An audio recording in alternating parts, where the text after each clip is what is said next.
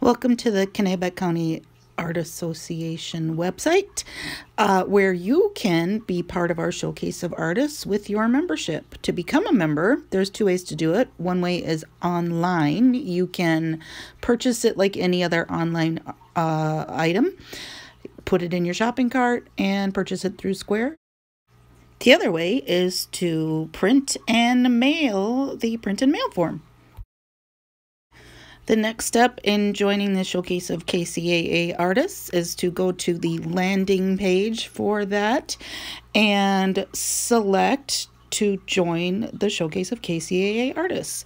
That will take you to a Google form. Uh, if you are a Google user, it will automatically see your email address and let you continue. It may encourage you to become a Google user. I think you can skip this. If not, contact us. We'll help you through it. Since this is a membership feature, the first question is Are you a member?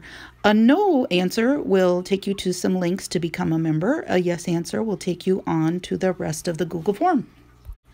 And the first question there is actually, again, confirming your membership. Uh, the information you enter here, we manually check against our membership database. So it's basically to confirm that nobody's trying to enter in your name without your consent and that you're not a robot. Beyond that, you get a look at the basic layout of how the showcase will look once you get your information entered.